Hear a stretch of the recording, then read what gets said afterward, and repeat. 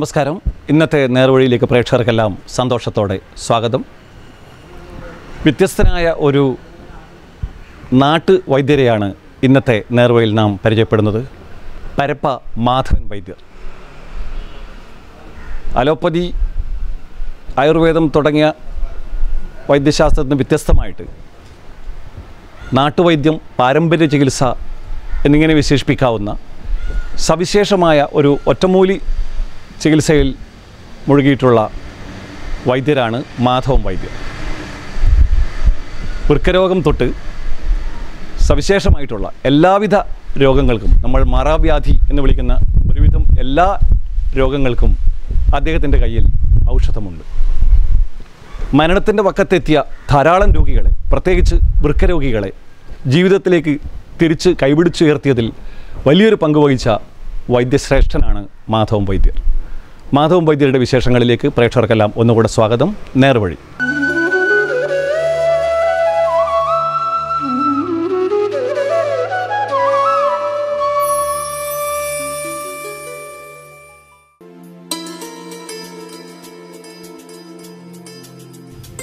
കേരളീയ ഗോത്ര പാരമ്പര്യത്തിൽ നിന്നും അപൂർവങ്ങളും അമൂല്യങ്ങളുമായ ഒട്ടേറെ വിജ്ഞാന രത്നങ്ങൾ നമുക്ക് ലഭിച്ചിട്ടുണ്ട്. എന്നാൽ ആധുനിക വിജ്ഞാനത്തിന്റെ കുതിച്ചുകയറ്റത്തോടെ ഇവയിൽ മിക്കതും നമുക്ക് നഷ്ടപ്പെടുകയും ഇവയിൽ നിന്ന് നാം ഏറെ അകന്നു പോവുകയും ചെയ്തു. മൃതസഞ്ജീവനം പോലെ മനുഷ്യനെ മാരാരോഗങ്ങളിൽ നിന്നും കരകയറ്റുന്ന വിശിഷ്ടങ്ങളായ ഔഷധജ്ഞാനത്തിന്റെ സൂക്ഷിപ്പുകാരനാണ് പരപ്പയിലെ മാധവൻ വൈദ്യർ.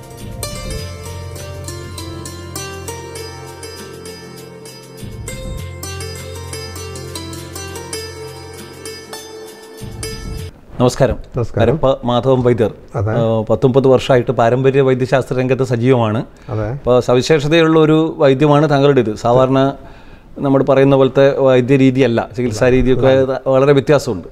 ഇപ്പോൾ ഏതൊക്കെ രോഗങ്ങൾക്കാണ്? ഇപ്പോൾ എല്ലാ രോഗങ്ങൾക്കും അങ്ങനെയല്ലോ. ചില പ്രത്യേക രോഗങ്ങൾക്ക് അങ്ങനെയാണല്ലോ താങ്കളുടെ ചികിത്സാ രീതി. അപ്പോൾ ഏതൊക്കെ രോഗങ്ങൾക്കാണ് പ്രധാനമായിട്ടും താങ്കൾ ചികിത്സ നടത്തുന്നത്? പ്രധാനമായിട്ടുള്ള കിഡ്നി ചികിത്സ. അതുപോലെ തന്നെ മൂത്രക്കല്ല് അതുപോലെ തന്നെ ലിവർ കരൾ വൃക്ക എന്നുള്ള ചികിത്സയാണ്. മെയിൻ ഏറ്റവും കൂടുതൽ ചികിത്സയുള്ളത് അതിനാണ്. പിന്നെ മറ്റുള്ള വാദസംബന്ധമായിട്ടും ആമവാദം സന്ധ്യവാദം തളർവാദം അത് ശനി ഞായർ ചൊവ്വ ദിവസങ്ങളിലാണ്. കിഡ്നി ചികിത്സ തിങ്കളാഴ്ചയാണ്. പിന്നെ വന്ധ്യ ചികിത്സ ബുധനാഴ്ച വ്യാഴാഴ്ച കണ്ണിന്റെ ചികിത്സ. അങ്ങനെ ഈ ചികിത്സ ബാക്കി എല്ലാ സ്കിന്ന് പോലുള്ള ചികിത്സ എല്ലാം ശനി ഞായർ ചൊവ്വ ദിവസങ്ങളിലാണ്. അതിനും ഇതുപോലെ തന്നെ ഓരോ ദിവസം ഒരു ചികിത്സ ചെയ്യാൻ പറ്റില്ല മറ്റേ എല്ലാം ഒന്നിച്ച് ചെയ്യാൻ പറ്റില്ല ഇത്രയും ആൾക്കാർക്ക് മരുന്ന് ഉണ്ടാക്കണം. ഇപ്പം രാവിലെ മരുന്ന് ഇപ്പം നാളത്തെ മരുന്ന് ഇപ്പോൾ തലേന്ന് നേരത്തെ പറിച്ച് കൊണ്ടുവന്നിട്ട് വേണം. ഈ മരുന്ന് തറച്ച് മുറിച്ച് എല്ലാം റെഡിയാക്കി അതിലേക്ക് കടക്കുന്നതിന് മുമ്പേ ഇപ്പം പറഞ്ഞില്ലേ ഒരു ആഴ്ച. അതെന്താന്ന് അതൊന്നും കൂടി പറയോ ഇന്നിന്ന ദിവസം തിങ്കളാഴ്ച അങ്ങനെയുണ്ടോ? അതിനെക്കുറിച്ചൊന്ന് പറഞ്ഞേ. തിങ്കളാഴ്ച കിഡ്നി. ആ. പിന്നെ വ്യാഴാഴ്ച കണ്ണിന്റെത് ബുധനാഴ്ച വന്ധ്യത ചികിത്സ ഉം. അപ്പോൾ വന്ധ്യതക്ക് അതുപോലെ തന്നെ നമ്മൾ അവർ വന്നിട്ട് നോക്കി ഭാര്യ മൊത്തം വന്ന് അവരെ അസുഖം എന്താണെന്ന് ചൊവ്വാഴ്ച? ചൊവ്വാഴ്ച എല്ലാ ചികിത്സയും ചൊവ്വ ശനി ഞായർ ചൊവ്വ ദിവസങ്ങൾ എല്ലാ ചികിത്സയും ഉണ്ട്. അതുപോലെ തന്നെ ആമവാദം സന്ധിവാദം തളർവാദം അതുപോലെ തന്നെ സ്കിന്ന് അതുപോലെ തന്നെ മുട്ടുവേദന കാലുവേദന അതുപോലെ തന്നെ ബാക്കി എല്ലാ. ഇങ്ങനെ ഒരു ഓരോ ആഴ്ചയിൽ ഓരോ ദിവസം അങ്ങനെ നിശ്ചയിക്കുന്ന എന്തെങ്കിലും കാരണമുണ്ടോ? കാരണം മരുന്നിന് ഇതിപ്പോ ഈ രണ്ട് മൂവായിരം ആൾക്കാരാണ് കിഡ്നിയുടെ ഒക്കെ അപ്പൊ ഈ മൂവായിരം ആൾക്കാർക്ക് മരുന്ന് ഉണ്ടാക്കണമെങ്കിൽ ഒരുപാട് പണിയുണ്ട്. അപ്പൊ അത് മൂന്ന് നാല് ദിവസം പല ഭാഗത്തും പോയിട്ട് മരുന്ന് ശേഖരിച്ച് അത് കത്തിയോടെ തന്നെ കുട്ടിന്റെ മുകളിൽ വെച്ച് തറച്ച് പൊടിച്ച് ആക്കിയിട്ടാണ് ഇവർക്ക് കൊടുക്കുന്ന മരുന്ന്. അത് ഉണ്ടാക്കണമെങ്കിൽ ഒരുപാട് കഷ്ടപ്പാടുണ്ട്. അതുപോലെ തന്നെ മറ്റുള്ള ചികിത്സക്കില്ല മരുന്ന് പറിച്ചല്ല. രാവിലെ ഒരു ഒമ്പത് മണിയാകുമ്പോഴത്തേക്കും എല്ലാ മരുന്നാവണം. ഈ ശനി ഞായർ ചൊവ്വ ദിവസങ്ങളിലെ ചികിത്സ. അത് ഷുഗർ പ്രഷർ കൊളസ്ട്രോൾ അങ്ങനെ മൂലക്കൂര് അങ്ങനെ അങ്ങനെ ആ പല അസുഖങ്ങൾക്കും മരുന്നെല്ലാം റെഡി ആയതിനു ശേഷം മാത്രമേ ആസ്പത്രിയിലേക്ക് പോകും. ആസ്പത്രിയിലേക്ക് പോയി അന്നേരം മരുന്ന് കൊടുക്കാൻ തുടങ്ങും. അതുവരെ ആസ്പത്രി എങ്ങനെയാ? വീട്ടിന്റെ അടുത്തുള്ള ആ വീട്ടിന്റെ അടുത്ത് തന്നെയുള്ള അതൊരു രണ്ട് വീട് വാടകയ്ക്കാണ് താമസിക്കുന്നത്. അതിന്റെ അതിന്റെ വേറൊരു ഒരാളെ കെട്ടിടത്തിലാണ് ചികിത്സ ചികിത്സ സംബന്ധമായിട്ടുള്ള അവിടെ കിടത്തി ചികിത്സയൊക്കെ ഉണ്ടോ? കിടത്തി ചികിത്സയില്ല അവർക്ക് മരുന്ന് കൊടുത്ത് അവർ ഒന്ന ഒരാഴ്ചക്കോ രണ്ടാഴ്ചക്കോ മരുന്ന് കൊടുത്ത് അവർ പോവും. ആ മരുന്ന് തീർന്നിട്ട് വീണ്ടും ആസ്പത്രിയിൽ വേറെ സഹായികളോ അങ്ങനെയൊക്കെ ഉണ്ടോ? സഹായികൾ ഒരുപാട് ആൾക്കാരുണ്ട് എന്റെ മരുവനും മകളെ കെട്ടിയവനും അങ്ങനെ മരുമകളെ കെട്ടിയവനും അങ്ങനെയല്ല. എന്റെ പെങ്ങളുടെ പെങ്ങളെ മക്കളെല്ലാം ഈ മരുന്ന് അതായത് നിങ്ങളുടെ കുടുംബാംഗങ്ങളെല്ലാം ഇതിൽ എല്ലാ കുടുംബങ്ങൾ മാത്രമാണ് അല്ല പുറത്തുനിന്ന് നമ്മൾ ഈ എഴുതാനും ഈ ടെറേഷ് റേഷ് ചെയ്യാനെല്ലാം ഇപ്പോൾ രണ്ട് മൂന്ന് സ്റ്റാഫിനെ നമ്മൾ നിർത്തിയിട്ടുണ്ട്. ഉം. അപ്പോൾ അവരാണ് ഇതെല്ലാം ചെയ്യുന്നത്. മറ്റേ മരുന്നെല്ലാം ശേഖരിക്കാൻ വേണ്ടിയിട്ട് പുറത്തുനിന്ന് ആരുമില്ല. എല്ലാം എന്റെ ബന്ധുക്കൾ മാത്രമാണ്. അപ്പം മരുന്ന് ശേഖരിക്കുന്നതും ഇതിനെപ്പറ്റി നല്ല ജ്ഞാനം വേണമല്ലോ. തീർച്ചയായും. നമുക്ക് മരുന്ന് നിന്ന മരുന്ന് ഇന്നാണെന്ന് അത് അതിന് വൈദ്യരനെ പോവോ? ഇല്ല ഞാൻ പോകില്ല അവർ തന്നെയാണ് മരുന്ന് പറിച്ച് കൊണ്ടിരുന്നത്. അവർ മരുന്ന് പറിച്ച് കൊണ്ടുവന്ന് എന്നെ കാണിച്ച് അത് എല്ലാം മുറിച്ച് ആക്കി കഴിഞ്ഞിട്ട് അതിന്റെ പാകപ്പെടുത്തുന്നില്ല നമ്മളാണ് എവിടുന്ന മരുന്ന് ശേഖരിക്കുന്നത്? പല ഇപ്പം കിഡ്നിയുടെ മരുന്ന് ഇപ്പോൾ ഇവിടെ ഇല്ല. ഇപ്പം കർണാടകയിലെല്ലാം പോയിട്ടാണ് മരുന്ന് പറിച്ച് കൊണ്ടു കൊണ്ടിരുന്നത്. അത് ആടുന്ന് പിന്നെ വണ്ടിയാക്കിന്റെ എടുത്തേക്കുമ്പോഴത്തേക്ക് എട്ട് ഒമ്പതിനായിരം അതെ അത് ഞാൻ ഉദ്ദേശിക്കുന്നത് ഇങ്ങനെ കാട് പോലത്തെ പ്രദേശങ്ങളിൽ ഉണ്ടാവുന്ന സാധനത്തിലെ മരുന്ന് തിരിച്ചറിഞ്ഞ് പറിക്കലാണോ അതോ ഈ മരുന്ന് തിരിച്ചറിഞ്ഞ് പറിക്കലാണ് അല്ലാതെ ഈ മരുന്നിന്റെ പ്ലാന്റ് അങ്ങനെയൊന്നും അല്ല ഒന്നുമില്ല. അവർക്ക് മരുന്ന് പഠിക്കാൻ പോകുന്നവർക്ക് പ്രത്യേക അതിന്റെ നിർദ്ദേശം കൊടുക്കും. ഇന്ന കാണിച്ചു കൊടുക്കും ആയിരിക്കും ആദ്യം മരുന്ന്. ഇന്ന മരുന്നാന്ന് ഷുഗറിന്റെ ഇന്ന മരുന്നാന്ന് കിഡ്നി ഇന്ന മരുന്നാന്ന് കണ്ണിന്റെ കണ്ണിന്റെ. അങ്ങനെ ആ മരുന്ന് അവർ പറിച്ചു കൊണ്ടുവരും. പറിച്ചു കൊണ്ടുവന്നെല്ലാം മുറിച്ചെല്ലാം റെഡി ആയി കിട്ടാൻ മുറിച്ചെല്ലാം റെഡി ആയിട്ടുമ്പോൾ അതിന്റെ പാകം ചെയ്യുന്നത് ഞാനും ഭാര്യയാണ്. അത് അതിന്റെ ടെക്നിക്കൊന്നും അവർക്കറിയില്ല. അവർ മരുന്ന് പറിച്ചു കൊണ്ടുവരിക മരുന്ന് റെഡിയാക്കി തരാം. അപ്പോഴത്തേക്കും അതിന്റെ ഒരു മൊത്തത്തിലൊരു അതിന്റെ ആ ഫോർമുലയിലാണ് എന്റെ വിജയം? വിജയം. പാകത്തിൽ അത് ആർക്കും അറിയില്ല. അത് ഞാനും എന്റെ ഭാര്യക്ക് മാത്രമേ അറിയൂ. മോനും. അതുകൊണ്ട് വേണമല്ലോ. കാരണം നമുക്ക് ശേഷം ഇത് വേണമല്ലോ അതിപ്പോ അതിപ്പോൾ ഞാനിപ്പോൾ ഞാനിപ്പോൾ ഒരു ഇപ്പോൾ മിനിയെന്ന് എറണാകുളത്ത് പോയി ഇന്നലെയും എന്റെ ഭാര്യയും മോനാണ് നോക്കിയത്. അവർക്ക് എന്നെ പോലെ തന്നെ അവർക്ക് നോക്കാനും എല്ലാം കഴിവ് കൊടുത്തിട്ടുണ്ട്. എല്ലാം ചെയ്യാം. അവർക്ക് എന്താണെന്ന് ചെയ്യേണ്ടത്? നാടി തൊട്ടാൽ അവർക്ക് എന്താ അസുഖമാണെന്നുള്ള തിരിച്ചറിയാനുള്ള കഴിവ് ഇപ്പോൾ അവർക്ക് രണ്ടക്കും ഉണ്ട്. അപ്പോൾ മരുന്ന് സംഭരിക്കുന്നതിനെ കുറിച്ച് ശേഖരിക്കുന്നതിനെ കുറിച്ചാണല്ലോ നമ്മൾ പറഞ്ഞു വന്നത്. അപ്പോൾ അത് എല്ലാം നമുക്ക് ഈ കാട്ടുവള്ളികൾ അതുപോലത്തെ സ്ഥലത്ത് നിന്ന് നമ്മൾ പോയി ശേഖരിക്കുകയാണോ? അതോ അതിൽ പൈസ കൊടുത്ത് വാങ്ങിക്കേണ്ട വല്ലതുണ്ടോ പൈസ ഇതിൽ ചേർക്കേണ്ട ചില മരുന്നുകളുണ്ട്. ചേരുവകൾ. ചേരുവകൾ. അത് നമ്മൾ എന്തായാലും പൈസ കൊടുത്ത് വാങ്ങിക്കണം. ഇപ്പം നമ്മൾ ഏത് മരുന്നാക്കുന്നുണ്ടെങ്കിലും അതിന്റെ ചേരുവകൾ കൂട്ടേണ്ടത് നമ്മളടുത്തില്ലെങ്കിൽ ഇല്ലാണ്ട് വാങ്ങി ഇതിൽ ചേർക്കണം. എങ്കിലേ ഒരു ക്യാൻസർ ഒരു ക്യാൻസറിന്റെ ഒരു അസുഖം വന്നിട്ടുണ്ടെങ്കിൽ അതിന് ചേരേണ്ട ചില മരുന്നുകളുണ്ടാവും. അത് കൊട്ടക്കയിൽ നിന്നോ അല്ല മറ്റേ ആയുർവേദശാലെന്നോ അത് ഒരു ഒരു ഗ്രാമോ ഒരു രണ്ട് ഗ്രാമോ അങ്ങനെ എങ്ങനെയാണ് അതിന്റെ അളവ് കൂട്ടേണ്ട സൈസ് അത് വാങ്ങി അതിൽ ചേർത്ത് അതിൽ കൊടുക്കേണ്ടി വരും. ഒരു മരുന്ന് മാത്രമല്ലല്ലോ ഒരു അസുഖത്തിന്. അതെ അതെ. അതിന് പലതരം മരുന്നുണ്ട്. അപ്പോൾ ചേരേണ്ടത് അത് ചേരണം. അത് മാത്രം ബാക്കി മെയിൻ ആയിട്ട് സംഗതികളെല്ലാം നമ്മൾ ശേഖരിക്കുന്ന പച്ചിലകളാണ്. പറിച്ചുണ്ടാക്കുന്ന ഇതെങ്ങനെ പച്ചിലകൾ വേരുകൾ അങ്ങനെയൊക്കെയാണോ? ആ പച്ച പച്ച ഇല പറിക്കേണ്ടത് വാദസംബന്ധമായിട്ട് ഉപയോഗിക്കേണ്ടത് അതങ്ങനെ. അതുപോലെ തന്നെ വേര് എടുക്കേണ്ടത് വേരുകൾ ഇപ്പൊ കിഡ്നി സംബന്ധമായിട്ടെല്ലാം വേരുകളാണ് എടുക്കേണ്ടത്. അപ്പൊ വേരുകളെല്ലാം അത് അതെടുക്കും അതുപോലെ തന്നെ ഇപ്പൊ പ്രധാനമായിട്ടുള്ള ഇപ്പൊ മരുന്നാണ് ഉദാഹരണ ശേഷി. ഉദാഹരണ ശേഷി എന്ന് പറഞ്ഞാൽ അത് ഭയങ്കര ഇതാണ്. അതിനെയാണ് ഈ എല്ലാവർക്കും ഇത് ഏറ്റവും കൂടുതൽ ഇപ്പോൾ മരുന്നിന് ആവശ്യപ്പെടുന്നതും അത് തന്നെയാണ്. അപ്പോൾ അത് എത്ര പ്രായം ഒരു പ്രശ്നമല്ല. എത്ര പ്രായമുള്ളവർക്ക് അത് ഉപയോഗിക്കാം. അത് ഉപയോഗിക്കുമ്പോഴത്തേക്കും അതിന്റെ റിസൾട്ട് അപ്പം തന്നെ കിട്ടുന്ന ഒരു പ്രത്യേകതര ഒരു ഒറ്റമൂലി മരുന്നാണ് അത്. അപ്പോൾ ഇതെല്ലാം താങ്കളുടെ ആ ഒരു പാരമ്പര്യ വൈദ്യത്തിന് കിട്ടിയിട്ടുള്ള അറിവുകളാണ്. അല്ലാതെ നമ്മളെ സാധാരണ ഈ ആയുർവേദത്തിൽ പറയുന്ന പോലത്തെ ഗ്രന്ഥങ്ങളല്ല. പാഷ്ടാംഗ അഷ്ടാംഗ ഹൃദയം എന്നൊക്കെ പറയുന്ന ആയുർവേദത്തിന്റെ റെഫറൻസ് ഗ്രന്ഥങ്ങളല്ല. ഒന്നുമല്ല. എല്ലാം നിങ്ങളുടെ തന്നെ പാരമ്പര്യം ഇതാണ്. അതായത് മറ്റുള്ളവർക്കും അത് അറിയണമെന്നില്ല. ഇല്ല അല്ലേ? അങ്ങനെയല്ലേ. അങ്ങനെ അപ്പൊ ഇതെല്ലാം നമുക്ക് എന്റെ എന്റെ അമ്മവനും അച്ഛനും അമ്മ മറ്റേ അമ്മയാണെങ്കിലും മരുന്ന് ശേഖരിക്കുമ്പോൾ അത് ഇന്നെന്ന മരുന്ന്. അത് ഇന്ന അസുഖത്തിന് ഉപയോഗിക്കേണ്ടത്. അത് ഉപയോഗിക്കേണ്ടത് ഇങ്ങനെ. അങ്ങനെ വാഴ്മൊഴിയല്ലാതെ ഒരു ഗ്രന്ഥങ്ങളോ നമുക്ക് ഇന്ന് അല്ല. ഞാൻ കൂട്ടത്തിൽ ഒരു പ്രധാനപ്പെട്ട ഇപ്പോൾ താങ്കൾ പറഞ്ഞു അനേകം രോഗങ്ങൾക്ക് ഇന്നിന്നില്ല ഏത് രോഗമായാലും താങ്കളുടെ അടുത്ത് വന്നാൽ താങ്കളുടെ അടുത്ത് അതിനൊരു പ്രതിവിധി കാണും. അല്ലേ? പക്ഷേ ഏറ്റവും കൂടുതൽ ആളുകൾ വരുന്നത് ഞാൻ മനസ്സിലാക്കിയെടുത്തോളം കിഡ്നി രോഗത്തിനാണ്. കാരണം കിഡ്നി രോഗം എന്ന് പറഞ്ഞാൽ നമുക്കറിയാം അത് വൃക്ക രണ്ടും തകരാറായി കഴിഞ്ഞാൽ പിന്നെ ഒന്നും ചെയ്യാനില്ല. കുറച്ചു കാലം ഡയാലിസിസ് ചെയ്ത് കഴിഞ്ഞാൽ പിന്നെ നാളുകൾ എണ്ണുന്ന ഒരു അവസ്ഥയാണ്. അപ്പൊ അതിന് ഫലപ്രദമായ ചികിത്സ താങ്കളുടെ അടുത്ത് ഉണ്ടെന്ന് പറയുന്നു. ശരിയാണോ? അതിനെ കുറിച്ചൊന്ന് പറയാമോ? തീർച്ചയായിട്ടും. ഇപ്പോൾ എന്റെ ഈ കിഡ്നി രണ്ടും പോയവരാന്ന് മിക്ക ആൾക്കാരും വരുന്നത്. രണ്ട് കിഡ്നിയും തകരാറായിട്ട്.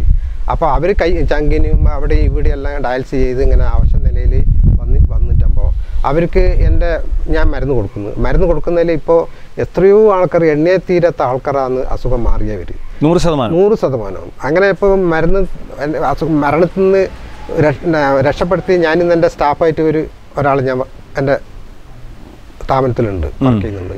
അങ്ങനെ അനവധി ആൾക്കാർ അതിപ്പോൾ ഈ പിന്നെ നേരത്തെ പറഞ്ഞിരുന്നല്ലോ ഈ രണ്ട് കിഡ്നി മാറ്റി വെച്ച് മാറ്റി മാറ്റി വെച്ച് കഴിഞ്ഞാൽ ആ രണ്ട് കിഡ്നിക്ക് വീണ്ടും തകരാറായിട്ട് എന്റെ അടുത്തേക്ക് ഒരുപാട് ആൾക്കാർ വരുന്നുണ്ട്. അവർ ആ രണ്ട് കിഡ്നി വീണ്ടും ജീവൻ കൊടുത്ത് ഞാൻ അവരിപ്പോൾ ഇന്നും ജീവിക്കുന്നു. ഇത് ഏത് സ്റ്റേജിലായാലും സ്വീകരിക്കും. അതായത് ഇപ്പൊ രണ്ട് കിഡ്നിയും തകരാറായി അങ്ങ് ഇനി ഇനിയിപ്പോ അധികം ഇല്ല അങ്ങനത്തെ ഘട്ടത്തിലും വരും. മരിച്ചിട്ട് രണ്ട് ദിവസം ആയാലും ആ വീണ്ടും ആ കിഡ്നി ഞാൻ വർക്കൗട്ട് എടുക്കും.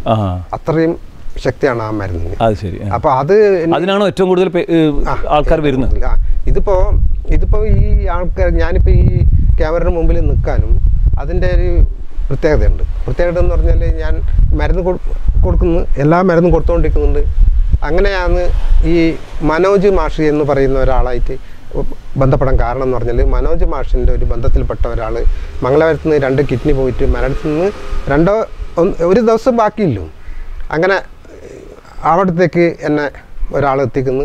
ഞാൻ പോകുമ്പോൾ അയാളെ മരണത്തിലില്ല മരിച്ചെന്ന് തന്നെ കണക്കൂട്ടാ.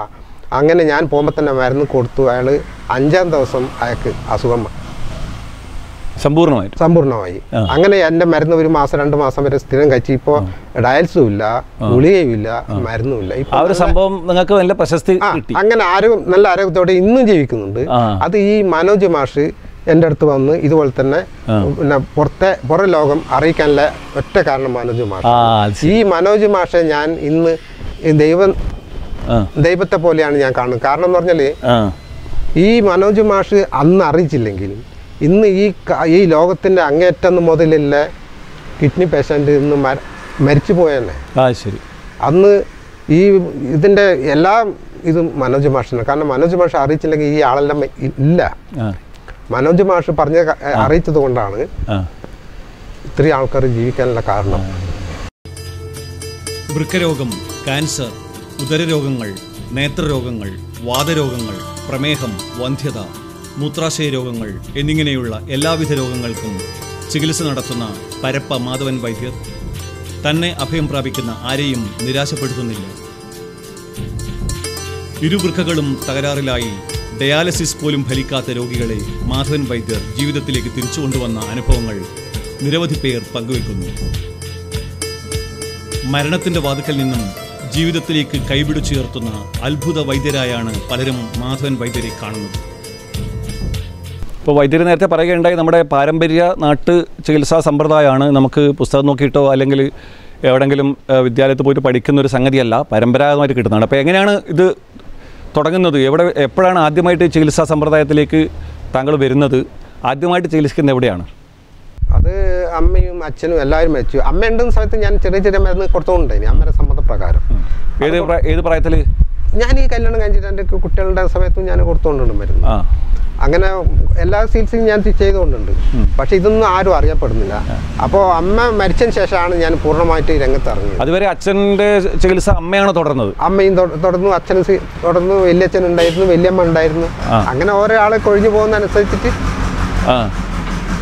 സീൽസ് ചികിത്സ നടന്നുകൊണ്ടുണ്ട്. അപ്പോൾ അത്യാവശ്യം ഈ എന്റെ അടുത്ത് വന്നവരെ ഞാൻ അമ്മ എന്നോട് പറയും അവർക്ക് മരുന്ന് കൊടുക്ക് അത് ചെയ്യ് ഇത് ചെയ്യുന്ന എന്നെ കൊണ്ട് ചെയ്യിപ്പിക്കും. പിന്നെ പൂർണമായിട്ട് ആരും ഇല്ലാത്ത ഒരു ഘട്ടത്തിലാണ് ഞാൻ ഈ മരുന്ന് എന്റെ എല്ലാ ശക്തി ഞാൻ അങ്ങോട്ട് കൊടുക്കാൻ തുടങ്ങിയത്. ഈ ഈ നമ്മുടെ ഈ ഔഷധത്തിനെ കുറിച്ചുള്ള ഈ ജ്ഞാനവും ഈ അറിവും ഇതൊക്കെ ഈ അച്ഛനും അമ്മയിൽ നിന്ന് കിട്ടിയതാണ് സമ്പൂർണമായിട്ട്. അവരിൽ നിന്ന് കിട്ടുന്നതാണ്. അപ്പോൾ അങ്ങനെയാണെങ്കിൽ അവരുടെ കൂടെ തന്നെ നമ്മൾ മരുന്ന് ശേഖരിക്കാനൊക്കെ നേരത്തെ ചെറുപ്പത്തിൽ പോകണ്ടേ അവർക്ക് അവരൊപ്പം ഞാൻ ഉണ്ട്. അവരുണ്ടപ്പോ എനിക്ക് ചികിത്സ ചെയ്യാൻ പറ്റൂല. കാരണം കാർന്നമാറുണ്ട് അച്ഛനുണ്ട് വല്യമ്മ ഉണ്ട് വല്യച്ഛനുണ്ട് അമ്മ ഉണ്ട്. അവരുണ്ടാകുമ്പോ അവരുണ്ടാകുമ്പോൾ ഞാനൊരു കടന്നു കയറ്റം ശരിയല്ല. അങ്ങനെയാണ് ഇതിന്റെ കണക്ക്. അവരെ സഹായിയായിട്ട് നിൽക്കും. അവരെ സഹായിട്ട് നിൽക്കും. അവർ ഇപ്പൊ ഞാനിപ്പോ ഈ എന്റെ വല്യമ്മയും അമ്മയെല്ലാം പ്രസവം എടുക്കാൻ വേണ്ടിട്ട് പോകും അന്നത്തെ കാലം. അന്ന് ആസ്പത്രി അങ്ങനെ ഒന്നുമില്ല അപൂർവമാണ്. അപ്പൊ അന്ന് ഇത് ഇപ്പോൾ ഓപ്പറേഷൻ ചെയ്യുന്ന അവർ ഒരു പത്തും പതിനഞ്ചും പ്രസവം അന്ന് അന്ന് എടുക്കാൻ പോയി. അന്ന് പ്രസവം അന്ന് പ്രസവം എടുക്കാൻ പോകുന്ന സമയത്ത് അമ്മ എന്നെ കൂട്ടും. അങ്ങനെ എന്നെ കൂട്ടി കഴിഞ്ഞിട്ട് ഈ പ്രസവം എങ്ങനെയാണ് എടുക്കേണ്ടത്? എന്താണ് അതിന്റെ മരുന്ന്? എങ്ങനെയാണ് ചെയ്യേണ്ടത്? കൃത്യമായിട്ട് അമ്മ എന്നെ പഠിപ്പിച്ച് തന്നിട്ടുണ്ട്. അപ്പം ഞാൻ ഒരു വക പ്രായമാകുമ്പോഴത്തേക്കും അമ്മ എന്നോട് പറഞ്ഞു നിന്നെ നീ വരണ്ടെന്ന് പറഞ്ഞു അപ്പോൾ അതിന് ശേഷമാണ് ഞാൻ ആ വഴിക്ക് പോകാത്ത പക്ഷേ എല്ലാ ചികിത്സ രീതികളും അമ്മ എന്നെ പഠിപ്പിച്ചിട്ടുണ്ട്. വല്യമ്മ. അപ്പോൾ ഇപ്പോൾ പ്രസവം അപ്പോൾ ഈ നിങ്ങളുടെ ഈ ഈ ഈ ചികിത്സാ സമ്പ്രദായം അല്ലെങ്കിൽ ഈ അറിവ് എന്ന് പറയുന്നത് നിങ്ങളുടെ കുടുംബപരമായിട്ടുള്ളതാണ് കുടുംബപരമായിട്ടുള്ളതാണ് അവർക്ക് അവരുടെ പൂർവികർന്ന് കിട്ടിയതായിരിക്കും. അവരുടെ പൂർവം അങ്ങനെ ഏഴ് തലമുറകൾക്ക് അപ്പുറത്ത് നിന്ന് വരുന്ന മരുന്നുകളാണ് ഇത്. നിങ്ങളുടെ കുടുംബം മാത്രമുള്ളതാണോ അതോ നിങ്ങളുടെ സമുദായത്തിൽ മൊത്തം അതുണ്ടോ? അല്ല നമ്മളെ കുടുംബത്തിൽ മാത്രമാണ് ഇത്. ഈ മരുന്ന് നമ്മുടെ സമുദായത്തിൽ ഒരുപാട് ആൾക്കാർക്ക് വൈദ്യന്മാരുണ്ട്. ഒരുപാട് വൈദ്യന്മാരുണ്ടായാലും ഇതൊരു അപൂർവ ചികിത്സയാണ്. ഇത് ആയുർവേദ അല്ല ഇത്. ഇത് ആ നാട്ടുവൈദ്യ ഒറ്റമൂലി മരുന്നാണ് ഞാൻ പ്രയോഗിക്കുന്നതല്ല ഒറ്റമൂലികളാണ്. നാട്ടുവൈദ്യം ഒറ്റമൂലി ചേർത്തിട്ടുള്ള ഒരു സംഗതിയാണ് അല്ലേ? സംഗതിയാണ്. അപ്പൊ അത് ആയുർവേദം എന്ന് പറയാനും പറ്റില്ല പച്ചമരുന്ന് പറയാനും കഴിയില്ല അങ്ങനെ ഒരു കൂട്ടം അപ്പൊ കൂട്ടത്തിൽ ഒരു പ്രധാനപ്പെട്ട വിഷയമുണ്ടല്ലോ. കാരണം നമ്മളിപ്പോൾ ഒരു ചികിത്സ ചെയ്യുന്ന സമയത്ത് നമുക്ക് ലൈസൻസ് വേണം അനുമതി വേണം. തീർച്ചയായിട്ടും. അപ്പോൾ നാട്ടുവൈദ്യത്തിനും പാരമ്പര്യ ചികിത്സത്തിനൊക്കെ അതിന്റെതായിട്ടുള്ള സർട്ടിഫിക്കറ്റ് ഇതൊക്കെ ഉണ്ട്. അപ്പോൾ ഇതൊക്കെ താങ്കൾക്കുണ്ടോ അഥവാ അത് എന്താണ് അതിൽ എന്തെങ്കിലും പ്രതിസന്ധി ഉണ്ടായിട്ടുണ്ടോ? കോഴിക്കോട് ക്രിസ്താസിന്റെ സർട്ടിഫിക്കറ്റ് കിട്ടി. അവർ അംഗീകരിച്ച സർട്ടിഫിക്കറ്റ് എനിക്ക് കിട്ടി. പിന്നെ മറ്റുള്ള പല പാർട്ടി സംബന്ധമായിട്ടും സമുദായ സംഘടനയിലും അങ്ങനെയുള്ള ഒരുപാട് സർട്ടിഫിക്കറ്റുകളും അവ ഇതെല്ലാം എനിക്ക് കിട്ടി. അപ്പോൾ ചികിത്സിക്കാനുള്ള ലൈസൻസ് കിട്ടിയോ? ആ ചികിത്സിക്കാനുള്ള ലൈസൻസ് ക്രിസ്താസിന്റെ ആണ് വേണ്ടത്. അത് കിട്ടി. പിന്നെ അത് പാരമ്പര്യ വൈദ്യത്തിന്റെ നാട്ടുവൈദ്യത്തിന് അന്ന് ഇതൊന്നും ആവശ്യമില്ലായിരുന്നു. ഇപ്പൊ പിന്നെ ഈ സർട്ടിഫിക്കറ്റ് ഇല്ലാതെ ചികിത്സിക്കാൻ പറ്റില്ല എന്ന് കണ്ടപ്പോൾ ഞാൻ അതിന്റെ നിയമവഴിയിൽ പോയി അതിന്റെ സർട്ടിഫിക്കറ്റ് ഞാൻ തയ്യാറാക്കി. അപ്പോൾ നമ്മൾ പറഞ്ഞു വളരെ മറാവ്യാധി എന്ന് പറയപ്പെടുന്ന മരണത്തിന്റെ പക്കത്തെത്തുന്ന ആളുകളെയാണ് താങ്കൾ ജീവിതത്തിലേക്ക് തിരിച്ചുകൊണ്ടിരുന്നത് താങ്കളുടെ ചികിത്സാ സമ്പ്രദായത്തിലൂടെ. അത് നേരത്തെ പറഞ്ഞ പോലെ വൃക്കരോഗം വന്നിട്ടുള്ള ആളുകൾ തൊട്ട് മറ്റ് പല തരത്തിലുള്ള വലിയ ഗൗരവമുള്ള രോഗം വന്നവരെക്കുറിച്ച്. അപ്പോൾ ഇങ്ങനെയുള്ള സമ്പ്രദായമായിട്ട് ഏകദേശം പത്ത് മുപ്പത് വർഷമായിട്ട് ഇടപെട്ടിട്ടുള്ള താങ്കൾക്ക് സ്വാഭാവികമായിട്ട് നമുക്ക് അവിസ്മരണീയമായിട്ടുള്ള മറക്കാനാവാത്ത ചില അനുഭവങ്ങളൊക്കെ ഉണ്ടായിരിക്കുമല്ലോ. അത്ര അനുഭവങ്ങൾ വല്ലതും ഉണ്ടോ ഓർമ്മിക്കാൻ? ഒരുപാട് അനുഭവങ്ങളുണ്ട്. ഇതുപോലെ തന്നെ ഒരു സുഖമില്ലാത്ത ഒരാളെ ഞാൻ നോക്കാൻ വേണ്ടിയിട്ട് ഞാൻ പോയി. അവർ പോകുന്ന സമയത്ത് ഇതുപോലത്തെ കിഡ്നിയിൽ മാത്രമല്ല പല അസുഖത്തിന്റെ ആണെങ്കിലും. ഇപ്പോൾ മഞ്ഞപ്പിത്തം. മഞ്ഞപ്പിത്തം പിടിപെട്ട് ആസ്പത്രിയിൽ നിന്ന് ഒഴിവാക്കുന്ന ഒരുപാട് കേസ് എന്റെ അടുത്ത് വരുന്നുണ്ട്. മിനിയാന്ന് ഇപ്പോൾ ഒരു ക്യാൻസർ രണ്ട് ക്യാൻസർ അത് മംഗലാപുരത്ത് നിന്ന് കൊണ്ടുവന്നതാണ് അവർക്ക് ഡോക്ടർ നോക്കിയിട്ട് രക്ഷയില്ല നിങ്ങൾ കൊണ്ടുപോയിക്കോ നമുക്കൊന്നും ചെയ്യാനില്ല എന്ന് പറഞ്ഞ് അങ്ങനെ ആംബുലൻസ് നേരിട്ട് എന്റെ വീട്ടിലേക്ക് വന്നു. ഞാൻ അവർക്ക് മരുന്ന് ജീവരക്ഷ മരുന്ന് ഞാൻ കൊടുത്തു. മരുന്ന് കൊടുത്തു കഴിഞ്ഞിട്ടാകുമ്പോഴത്തേക്കും അഞ്ച് ദിവസം ആകുമ്പോഴത്തേക്കും എന്നോട് പറയണമെന്ന് പറഞ്ഞു ഈ മിനിയാന്ന് രാവിലെ വിളിച്ച് പറഞ്ഞു അമ്മ കണ്ണെഴുന്ന് കണ്ണ് തുറന്ന് വെള്ളം കഞ്ഞിയെല്ലാം കുടിക്കാൻ തുടങ്ങി. അതുവരെ മരിച്ച അവസ്ഥയിലാണ് ഉണ്ടായത്. പാരമ്പര്യ വൈദ്യനായ മാധവൻ വൈദ്യരുടെ ചികിത്സാരീതി തികച്ചും വ്യത്യസ്തവും സവിശേഷവുമാണ്. ആയുർവേദം അലോപ്പതി തുടങ്ങിയ സാമ്പ്രദായിക വൈദ്യരീതിയിൽ നിന്നും തികച്ചും വ്യത്യസ്തമായി നാട്ടുവൈദ്യം ഒറ്റമൂലി എന്നിങ്ങനെയുള്ള സമ്പ്രദായങ്ങളെ സമന്വയിപ്പിച്ചുകൊണ്ടുള്ള അദ്ദേഹത്തിന്റെ ചികിത്സാരീതി അപൂർവങ്ങളായ പച്ചിലകളും വേരുകളും പൂവുകളുമെല്ലാം ഉപയോഗിച്ചുകൊണ്ടുള്ളതാണ്. അച്ഛനമ്മമാരിൽ നിന്നും തലമുറകളായി പകർന്നു കിട്ടിയ ഔഷധജ്ഞാനം നഷ്ടപ്പെടാതെ തന്റെ പിൻഗാമികളിലേക്ക് പകർന്നു നൽകുകയാണ് മാധവൻ വൈദ്യർ. വംശീയ വൈദ്യർ എന്ന നിലയിൽ കിർത്താഡ് അദ്ദേഹത്തെ അംഗീകരിച്ചിട്ടുണ്ട്. അപ്പോൾ നമ്മൾ നേരത്തെ പറഞ്ഞു വന്നത് നമ്മുടെ ഇതല്ലേ അവിസ്മരണീയമായ അനുഭവങ്ങളെ അവിസ്മരണീയമായ അനുഭവങ്ങളെക്കുറിച്ചാണല്ലോ അപ്പോൾ അതുപോലെ തന്നെ ഈ വന്നു. അവരിപ്പോൾ രണ്ട് ദിവസം കഴിഞ്ഞിട്ട് കഴിഞ്ഞിട്ടാകുമ്പോഴത്തേക്ക് എന്നെ വിളിച്ചു. അപ്പോൾ അതുവരെ കണ്ണ് തുറക്കില്ലായിരുന്നു. ആ. കയ്യോ കാലിനോ കൈക്കോ ഒരു ചലനവും ഇല്ല അങ്ങനെ ജീവരക്ഷ മരുന്ന് കൊടുത്ത് ഇപ്പോൾ കണ്ണെല്ലാം തുറന്നു. ശ്രദ്ധിക്കെല്ലാം തുടങ്ങി. അപ്പോൾ അങ്ങനെ വരുമ്പോഴത്തേക്കും ഞാൻ ഓരോ ആൾക്കാർ ഇതുപോലെ തന്നെ വരുന്ന സമയത്ത് ഞാൻ എന്റെ അത് അമ്മയാന്ന് എന്റെ അച്ഛനെയാന്ന് എന്നാ ഞാൻ മരുന്ന് കൊടുക്കില്ലേ അപ്പം മരുന്ന് കൊടുത്ത് അവർ എത്രയും പെട്ടെന്ന് രക്ഷപ്പെടണം എന്ന് പറഞ്ഞിട്ടാ മനസ്സിൽ വേറെ ഒരു ദുരുദ്ദേശവും മനസ്സിൽ വിചാരിക്കാതെ അത് കൊടുക്കുന്ന ആ മരുന്നിൽ അത് ആത്മാർത്ഥമായിട്ട് കൊടുക്കുന്ന മരുന്നിൽ മാത്രമേ ഫലം ഉണ്ടാവില്ല. ഫലം ഉണ്ടാവുള്ളൂ. അത് കൊടുക്കുന്നത് നമ്മളെ മനസ്സിൽ വേറൊന്നും വിചാരിക്കാൻ പാടില്ല. അങ്ങനെയാണ് ഞാൻ എല്ലാം ചെയ്യുന്നത്. പിന്നെ ഈ അതുപോലെ തന്നെ ഒരു കുട്ടി. കുട്ടി ഇതുപോലെ തന്നെ വണ്ടി മുട്ടിട്ട് ഈ കാറിന്ന് ഈ കുട്ടി തെറിച്ച് പോകുന്നു ആ കുട്ടി തെറിച്ച് പോയി ആ കുട്ടിയെ രണ്ടാമത് പിന്നെ ആസ്പത്രിയിൽ മെഡിക്കൽ കോളേജിൽ നമ്മളത്തേക്കും ഇതിൽ നമുക്ക് മൂന്ന് നാല് ആഴ്ച ആസ്പത്രി കടന്നു. അവസാനം കുട്ടിയെ അനക്കോ ഒന്നുമില്ല. അവസാനം നമുക്കൊന്നും ചെയ്യാനില്ല എന്ന് പറഞ്ഞിട്ട് ഡോക്ടർ ആസ്പത്രിയിൽ നിന്ന് ഒഴിവാക്കുന്നതാണ്. അവർ ആംബുലൻസ് നേരിട്ട് എന്റെ വീട്ടിലേക്ക് വരുന്നതാണ്. എന്നെ കാണിക്കാൻ വേണ്ടി കൊണ്ടുവന്നു. ആ കുട്ടിയെ ഞാൻ ഇന്നും ചികിത്സിക്കുന്നുണ്ട്. ആ കുട്ടി ഇന്ന് കണ്ടാൽ ഇത് അറിയുന്നില്ല. കുട്ടി രക്ഷപ്പെട്ടു. കുട്ടി നല്ല ആരോഗ്യത്തോടെ നല്ല കളിയും ചിരിയും. ഏ? ഇന്ന് ആ കുട്ടി പൂർണമായിട്ട് അത് എന്റെ എന്റെ കുട്ടിയാണ് എന്റെ മോളെ കുട്ടിയാണ്. എന്റെ അങ്ങനെ ഒരു. ആ കുട്ടി എൻ- എന്റെ ആ കുട്ടി എന്റെ അടുത്ത് ഇപ്പോഴും വരുന്നുണ്ട്.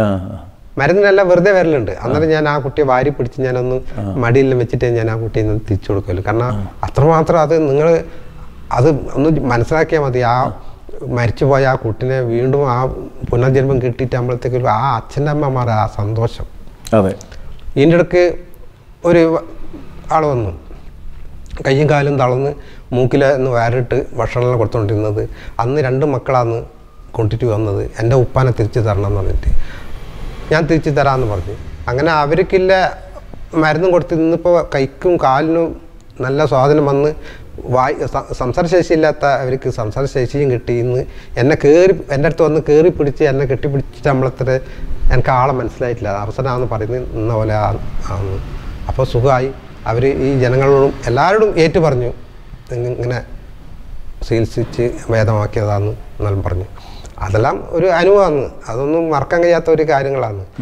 അപ്പോൾ ഞാൻ പറയുന്നത് ഏത് ലോകത്ത് ഉണ്ടെങ്കിലും അവരെ അവിടെ ചെന്ന് അവർക്ക് വരാൻ കഴിയാത്ത അവരെ പോയി ചികിത്സിച്ച് അവരെ രക്ഷപ്പെടുത്തുന്നതാണ് എന്റെ മനസ്സിൽ ഇന്നും ഇല്ല. നമ്മളെ കൊണ്ട് കഴിയാവുന്ന ഇത് കൊടുക്കണം. ജീവൻ കൊടുക്കാൻ പ്രതിഫലം എന്ന് പറഞ്ഞത് ചിന്തിക്കാനേ പാടില്ല. ഇന്നിപ്പോ എന്റെ അടുത്തേക്ക് വരുന്ന ഓരോ ആൾക്കാരും ആരോടും ഒരു ഉറുപ്പ്യ പോലും ഞാൻ വാങ്ങുന്നില്ല. അവർ അറിഞ്ഞു തരുന്ന ചോദിച്ച് വാങ്ങുന്നില്ല. അവർ അറിഞ്ഞു തരുന്ന ദർശനം. അതിൽ പത്ത് ഉറുപ്പ്യ ഇരുപത് ഉറുപ്പ്യ അമ്പത് ഉറുപ്പ്യ അതും അതും മതി. കാരണം അവർ വരുന്ന അറിഞ്ഞു തരുന്ന ആ പത്ത് ഉറുപ്പ്യാണെങ്കിൽ അത് പത്തായിരത്തിന്റെ വില ഉണ്ടായിന് ആദിവാസി ഗിരിവർഗ വിഭാഗത്തിൽപ്പെടുന്ന മലവേട്ടുവ സമുദായത്തിൽ ഉൾപ്പെടുന്ന മാധവൻ വൈദ്യർ ജനിച്ചത് കോടോം വെള്ളൂർ പഞ്ചായത്തിലെ പട്ടിളം എന്ന ഗ്രാമത്തിലാണ്. തലമുറകളായി വൈദ്യരായിരുന്ന കുടുംബത്തിലെ അംഗങ്ങളായിരുന്നു അച്ഛൻ ചങ്ക്രാന്തിയും അമ്മ ലീലിയും. അച്ഛനമ്മമാരുടെ കാലശേഷമാണ് മാധവൻ വൈദ്യർ ചികിത്സ ഏറ്റെടുക്കുന്നത്. അസുഖം ഭേദമായവരുടെ വാക്കുകൾ കേട്ടറിഞ്ഞ് പ്രശസ്തരായ പരപ്പ മാധവൻ വൈദ്യർ മന്ത്രിമാർ ചലച്ചിത്ര താരങ്ങൾ ഉൾപ്പെടെ അനേകം പ്രശസ്തരെ ചികിത്സിച്ചിട്ടുണ്ട്. ഭാര്യ രാധ മക്കൾ മനു മനുഷ എന്നിവരും വൈദ്യരുടെ ചികിത്സാലയത്തിലെ പ്രധാന സഹായികളാണ്. ആ അപ്പോൾ അത് തന്നെയാണ് ഞാൻ ചോദിക്കാൻ വിചാരിച്ചത് താങ്കളോട്. സൗജന്യ ചികിത്സ. താങ്കളുടെ ചികിത്സാ സമ്പ്രദായത്തിലെ ഒരു പ്രധാനപ്പെട്ട ഒരു സവിശേഷതയാണ് സൗജന്യ ചികിത്സ എന്നുള്ളത്. താങ്കൾ ആരോടും പൈസ ഓരോന്നിനും ഇത്ര കോസ്റ്റ് എന്നുള്ള രീതിയിലൊന്നും വാങ്ങിക്കുന്നില്ലല്ലോ. ആളുകൾ തന്നത് വാങ്ങിക്കുക ഒന്നും തന്നില്ലെങ്കിൽ കുഴപ്പമില്ല എന്ന മട്ടിലാണ്. പ്രത്യേകിച്ച് വൃക്കരോഗം പോലുള്ള വലിയ ചികിത്സയൊക്കെ ചെയ്യുമ്പോൾ. അപ്പോൾ എങ്ങനെയാണത് നടക്കുന്നത്? കാരണം പല ഇതിനൊക്കെ വലിയ ചിലവുണ്ട്. നമ്മുടെ ഇത് അതിന്റെ പച്ചിലകളും അതുപോലെ ചേരുവകളൊക്കെ സംഘടി സംഘടിപ്പിക്കാനും ശേഖരിക്കാനും അതുപോലെ തന്നെ ചിലതെല്ലാം വാങ്ങിക്കാനൊക്കെ താങ്കൾ തന്നെ സൂചിപ്പിച്ച പോലെ വലിയ ചിലവും ബുദ്ധിമുട്ടുള്ളതാണ്. അപ്പോൾ ഈ സൗജന്യ ചികിത്സ എന്നുള്ളത് പ്രായോഗികമാണോ? എത്രത്തോളം പ്രായോഗികമാണ്? നടക്കുന്നിടത്തിന് വളരെ ബുദ്ധിമുട്ടാണ്. കാരണം ആരോടും ഞാൻ എന്നെ എന്നെ ഞാൻ ചത്താലും തർക്കാറില്ല. ആരോടും ഇത്ര പൈസ ഉണ്ടെന്ന് ഞാൻ ആരോടും ചോദിക്കില്ല കാരണം അവർ എല്ലാവരും ഒഴിവാക്കുന്ന ആൾക്കാരാണ്. അപ്പൊ നമ്മളടുത്തും വന്നിട്ട് നമ്മളത്തേക്ക് ഇത്ര പൈസ എന്ന് പറയുമ്പോഴത്തേക്കും അവർക്ക് പിന്നെ വേറെ വഴികളില്ല. തന്നത് വാങ്ങിക്കും തന്നത് വാങ്ങുന്നല്ലാണ്ടിട്ട് അതിൽ എത്ര കഷ്ടപ്പാടുണ്ടോ എത്ര നഷ്ടം വന്നാലും സഹിക്കല്ലാതെ അത് ചെറുതായാലും വലുതായാലും പ്രശ്നമല്ല. ഒരു പ്രശ്നമില്ല ഇനിയിപ്പോൾ കോടീശ്വരന്മാർ വരുന്നുണ്ട് പാവപ്പെട്ടവർ വരുന്നുണ്ട് സാധാരണ ഒന്നുമില്ലാത്ത ആൾക്കാർ വരുന്നുണ്ട്. അവർക്ക് ഞാൻ മരുന്ന് എണ്ണയും മറ്റുള്ള എല്ലാം ഞാൻ കൊടുക്കും. ആരോട് അവർ ഒരു ഉറുപ്പ് പോലും വാങ്ങും ഔഷധത്തിന്റെ കോസ്റ്റ് വാങ്ങൂലേ? ഒന്നും വാങ്ങില്ല ഇപ്പൊ ഈ മരുന്ന് വാങ്ങുന്ന അവർ അറിഞ്ഞു തരുന്ന ദക്ഷിണയാണ് ആ. അത് പത്ത് രൂപ പത്ത് റുപ്യ ഇരുപത് റുപ്യ അമ്പത് റുപ്യ നൂറ് റുപ്യ ചില ആൾ നൂറ് റുപ്യ ഇടും ചില ആൾ ഇരുന്നൂറ് ഇടും. അത് ഈ വരുന്നവർ വരുന്ന പൈസയാണ് ഇവർക്ക് എല്ലാവർക്കും ശമ്പളം കൊടുക്കുന്നത്. അല്ലാതെ ഞാൻ ആരോടും ചോദിച്ചു വാങ്ങുന്നില്ല. ആരോട് ചോദിച്ചാലും പറയും ഞാൻ വാങ്ങുന്നില്ല.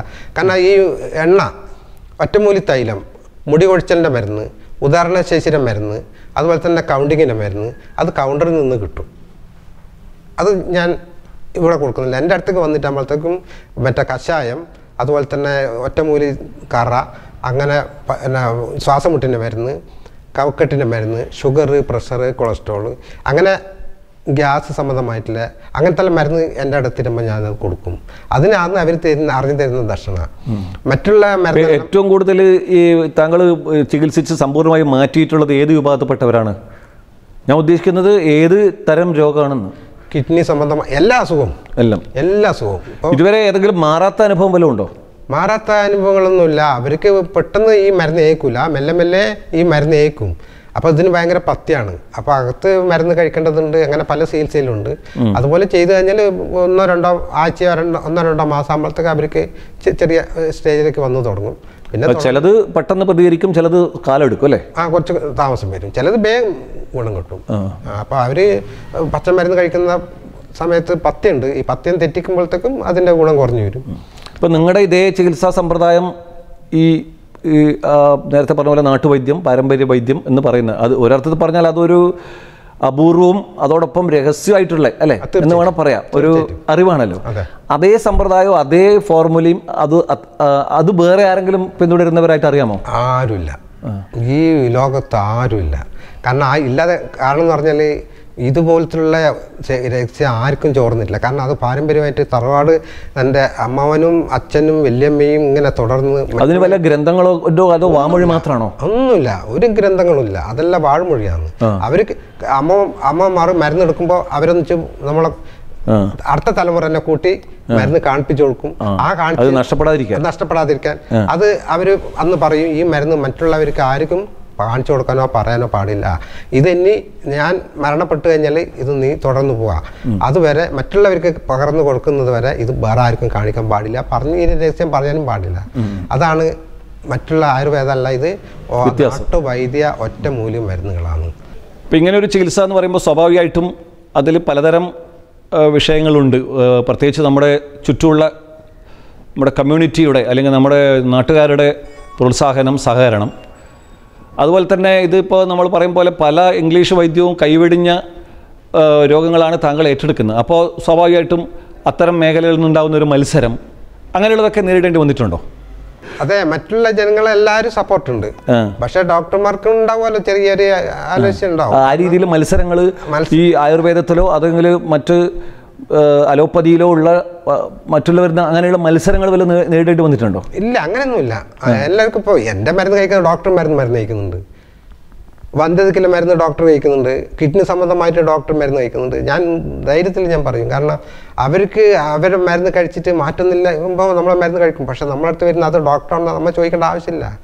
പക്ഷെ രണ്ടോ മൂന്നോ നാലോ മാസം കഴിഞ്ഞിട്ടായിരിക്കും അത് ഡോക്ടറാണ് മറ്റുള്ളതെന്ന് പറയുന്നത്. പക്ഷേ എനിക്ക് ഞാൻ അതിൽ പ്രാധാന്യം കൊടുക്കുന്നില്ല. എന്റെ അടുത്ത് വരുന്ന ആരോ അവർക്ക് ഞാൻ മരുന്ന് കൊടുക്കും.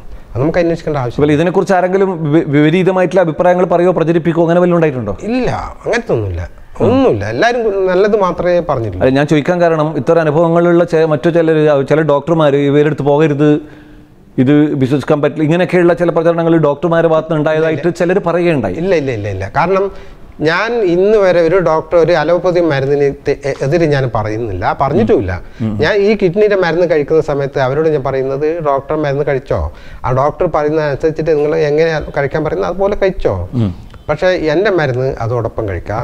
പക്ഷെ ഇനി എന്ത് ഒരു അലോപ്പതി മരുന്ന് എത്ര കോടി ഉറുപ്പേരെ മരുന്ന് കഴിച്ചാലും എന്റെ ഈ മരുന്ന് കഴിച്ചാൽ ഈ ഒരു കോടി ഉറുപ്പേരെ മരുന്നിനെ കവർ ചെയ്ത് ഈ കിഡ്നി വലയം വെച്ചിട്ടുണ്ടാവും അത് അതാണ് രഹസ്യം. അതാണ് ആർക്കും കിട്ടൂലത്. അത് ഈ വലം വെച്ച് കഴിഞ്ഞാൽ ഒരു കാരണവശാലും പട്ടാളക്കാരെ പോലെ അവിടെ നിൽക്കും അത്. അതാണ് ഏഴ് ദിവസം ഒരു കിഡ്നിക്ക് അസുഖം ബാധിച്ച അവർക്ക് ഏഴ് ദിവസം കൊണ്ട് അവർ പുനർജീവിച്ചു വരും. അതാണ് ഈ മരുന്നിന്റെ രഹസ്യം. ഏഴ് ദിവസം വേണം. മാധവൻ വൈദ്യരുടെ ചികിത്സാ രീതിയുടെ ഏറ്റവും വലിയ സവിശേഷത അവ സൗജന്യമാണ് എന്നുള്ളതാണ്. ആരെങ്കിലും അറിഞ്ഞ് ദക്ഷിണയായി എന്തെങ്കിലും കൊടുത്താൽ അത് എത്ര ചെറുതായാലും വാങ്ങുമെന്നല്ലാതെ നിശ്ചിത ഫീസ് അദ്ദേഹം ആരോടും ഈടാക്കാറില്ല. ആതുര സേവനം ജീവിതവ്രതമാക്കിയ ഈ അപൂർവ വിഷഗ്വരനെ മലവേട്ടുവ സമുദായ സംഘടന കോടോം ബേളൂർ പഞ്ചായത്ത് തുടങ്ങി ഒട്ടേറെ സംഘടനകൾ ആദരിക്കുകയും അംഗീകരിക്കുകയും ചെയ്യുകയുണ്ടായി. അപ്പോൾ എങ്ങനെയാണ് വൈദ്യരുടെ കുടുംബം ഭാര്യ മക്കൾ അവരൊക്കെ ഒന്ന് ആരൊക്കെയാണ്? അവരെല്ലാവരും മരുന്നിനൊപ്പം തന്നെ. ആ. മകനും മകന്റെ ഭാര്യയും മകളും മകളെ ഭർത്താവും ഭാര്യയും എല്ലാവരും ഒരുമിച്ച് കൂട്ടി കൊണ്ടുവന്നതാണ് ഇത്. ഇപ്പോൾ എത്ര മക്കളുണ്ട്? എനിക്ക് രണ്ട് മക്കളുണ്ട്. മൂന്ന് മക്കളുണ്ട് രണ്ട് അവർ പഠിക്കുകയൊക്കെ ചെയ്യുന്നുണ്ടോ? അവരെല്ലാം ഈ മരുന്നിനൊപ്പം തന്നെ. സ്കൂളൊന്നും പഠിച്ചിട്ടില്ലേ? പഠിച്ചില്ലേ ഒന്ന് പ്ലസ് ടു കഴിഞ്ഞു രണ്ടാളും പ്ലസ് ടു കഴിഞ്ഞു. പ്ലസ് ടു മൂന്നാളും കഴിഞ്ഞു. മറ്റേ മൂത്ത മോൻ ഏഴാം ക്ലാസ് വരെ പോയിട്ടുള്ളൂ. പിന്നെ തുടങ്ങി മരുന്നിന്റെ അംശം ഉം, ഉം, ഉം. അങ്ങനെ മരുന്നായിട്ട് ഉപജീവന മാർഗം ചെയ്ത് പോന്നതാണ് നമ്മളെല്ലാം. അപ്പോൾ ഇതുപോലെ തന്നെ ആരോടും കണക്ക് പറയാത്തതും വാങ്ങാത്തതും ഇത് അങ്ങനത്തെ ഒരു ഇതാ മരുന്നാണ്. അത് അറിഞ്ഞ് അവർക്ക് തരുന്ന പൈസ അല്ലാതെ ആരോടും ഞാൻ ഇതുവരെ ചോദിച്ചിട്ടുണ്ട് അങ്ങനെ ചില ആൾക്കാർ മനസ്സറിഞ്ഞ് സഹായിക്കുന്നവരുണ്ട്. അങ്ങനെല്ലാം കൂടി അത് വലിയ സമ്പന്നരായിട്ട് ആൾക്കാരൊക്കെ കുറെ കൂടുതൽ തരുമായിരിക്കും അല്ലേ? ആ കൂടുതൽ അവർ തരും. അതുകൊണ്ട് പാവപ്പെട്ടവർ കുറഞ്ഞാലും നമുക്ക് ബാധിക്കൂല ബാധിക്കൂല. അങ്ങനെ ആയിരിക്കും അല്ലേ? അങ്ങനെ. അല്ലാതെ ചില ആൾക്കാരിൽ നിന്ന് സർക്കാരിൽ നിന്ന് ഒരുപാട് പണം വരുന്നുണ്ട് ഒഴുകുന്നുണ്ട്. അതുകൊണ്ടാണ് വലിയ വീടെടുത്തത്. അത് ഇത് ഈ വരുന്നവർക്ക് ഇതൊന്നും അറിയില്ല. അവർ അറിയുന്നത് ഇത് എന്റെ സ്വന്തമാണെന്നാണ് അത് അതാണ് ഈ ശ്യാമിനോട് ചോദിക്കാൻ പറയുന്നത്. ആ വീട് അയ്യായിരം രൂപ മാസത്തിൽ വാടക കൊടുക്കണം. അതിന്റെ കറണ്ട് ബില്ല്. താഴത്തത് വേറൊരു സ്വകാര്യ വ്യക്തിയുടെ ഒരു സ്ഥലമാണ്. പക്ഷെ അത് അതിന് വാടക കൊടുക്കണ്ട. അതിന്റെ കറണ്ട് ബില്ലല്ല നമ്മൾ അടക്കണം. ആ. അപ്പൊ ആദ്യം ഞാൻ ബാനത്താണ് മരുന്ന് ചികിത്സയും എന്റെ വീട് അവിടെയാണ് ചികിത്സയും നടന്നത്. അപ്പൊ അവിടെ സൗകര്യമില്ല. ഈ ആൾക്കാർ സ്വന്തം വീടൊക്കെ ഇല്ലേ വേറെ? സ്വന്തം വീടുണ്ട്. സ്വന്തം വീടുണ്ട്. അവിടെ സൗകര്യമില്ല. ഇത്രയും രണ്ടു മൂന്ന് ആൾക്കാർ വന്നിട്ട് അപ്പൊ കാട്ടിലന്ന് രാത്രി കടന്നുറങ്ങുന്നത് ആ. അപ്പൊ പാമ്പത്തോളം മറ്റേ കടിച്ചു എങ്ങനെ ഇവിടെ സ്വന്തം വീട്? പരപ്പൊക്കെ കുറച്ച് അടുത്ത ബാനത്താണ്. അത് കുറച്ച് കാട്ടുപ്രദേശാന്ന് തോന്നുന്നു കാട്ടുപ്രദേശാണ്. അവിടെ സൗകര്യമില്ല. അത് വേറെ ആളെ വീട്ടിലെ വാക്കലെ വരണം വഴിയില്ല റോഡില്ല എല്ലാ ബുദ്ധിമുട്ടാണ് ഈ മരുന്നിന് വരുന്ന ആൾക്കാർക്ക് എന്റെ അടുത്തേക്ക് എത്തിപ്പെടാൻ പറ്റുന്നില്ല. അങ്ങനെ അവർക്ക് സൗകര്യത്തിന് വേണ്ടിയിട്ടാണ് ഈ പട്ടളം എന്ന് പറഞ്ഞ സ്ഥലത്ത് ഞാനിപ്പോൾ വാടക എടുത്തിട്ട് നിൽക്കുന്നത് നാടാകുമ്പോഴത്തേക്ക് റോഡ് സൈഡായി എല്ലാ ആൾക്കാർക്കും വരാനുള്ള സൗകര്യമുണ്ട്. അപ്പോൾ അതിനെ ഒന്നത് വെള്ളം. അങ്ങനെ സൗകര്യത്തിന് വേണ്ടിയിട്ടാണ് ഞാൻ അവിടെ അപ്പോൾ ശരിക്കും നിങ്ങളുടെ സമുദായത്തിന്റെ കുലത്തൊഴിൽ എന്താണ്? കുലത്തൊഴിൽ ഇപ്പോൾ ഇതുപോലെ തന്നെ ഇതുപോലെ തന്നെ മറം തടപ്പ അതുപോലെ തന്നെ ബാക്കി എല്ലാം ഇങ്ങനെ കാട്ടിൽ പോകൽ ഇതുവരെ മരുന്ന് ശേഖരിക്കൽ ഇതെല്ലാം തന്നെയാണ് പാരമ്പര്യമായിട്ട് ഇല്ലത് അതന്നെ മരുന്ന് തന്നെയാണ് അതായത് സമുദായത്തിലെ മറ്റംഗങ്ങളെല്ലാം അത്തരം തൊഴിൽ ഇപ്പം ചെയ്യുന്നു ചെയ്യുന്നുണ്ട്. അത്രയും തൊഴിൽ ചെയ്യുന്നുണ്ട്. ഈ ഒരു മേഖല താങ്കളേ ഉള്ളൂ. ആ ഇതിപ്പോ ഞാനിപ്പോ അടുത്ത സ്റ്റേജ് എന്റെതാണ് അതാണ് ഞാൻ ഇങ്ങനെ പോകാൻ കാരണം അല്ലാതെ എന്റെ സ്റ്റേജിൽ ഒരാളുണ്ടെങ്കിൽ ഞാൻ ചെയ്യില്ല. ചെയ്യില്ല. അതാണ് ഈ ചെയ്യണമല്ലോ. ആ ചെയ്യണം. ഇനിയിപ്പോ നിങ്ങൾ പിൻഗാമി മക്കളായിരിക്കും മക്കളാണ്. അവർക്ക് നിങ്ങൾ ഇത് പറഞ്ഞു കൊടുത്തുകൊണ്ടുണ്ട് പറഞ്ഞുകൊണ്ട് അവർക്ക് എല്ലാം അറിയാം എല്ലാം ചെയ്യാൻ കഴിയും ഇപ്പോൾ വളരെ സന്തോഷം. നമ്മുടെ പയ്യന്നൂർ നെറ്റ്വർക്ക് ചാനലിന്റെ നേർവഴി എന്നൊരു പരിപാടിയാണ്. താങ്കളെപ്പോലുള്ള പോലുള്ള പ്രഗത്ഭരായിട്ടുള്ള വ്യത്യസ്തമായിട്ടുള്ള ജീവിതം നയിക്കുന്ന മാതൃകാപരമായ ജീവിതം നയിക്കുന്ന ആളെ പരിചയപ്പെടുന്ന നമ്മുടെ ഒരു പരിപാടിയാണ് അപ്പോൾ താങ്കളുടെ സംരംഭം എന്ന് പറയുന്നത് വെറും ഒരു ഒരു വൈദ്യ വൈദ്യം എന്ന രീതിയിൽ അപ്പുറത്തായിട്ട് അത് സൗജന്യമായിട്ട് ധാരാളം ആളുകൾക്ക് സഹായകമായി നിൽക്കുന്നു. ധാരാളം ആളുകളെ മരണത്തിൽ നിന്ന് തിരിച്ചുകൊണ്ടുവരുന്നു എന്ന് കേട്ടറിഞ്ഞതിൽ വളരെ സന്തോഷം. നമ്മുടെ പ്രേക്ഷകർ ഇത്രയും കാര്യങ്ങളൊക്കെ മനസ്സിലാക്കാൻ ഇടവന്നു. ഇത്രയും സമയം നമ്മളോട് സംസാരിച്ചതിൽ വളരെ സന്തോഷം. നന്ദി.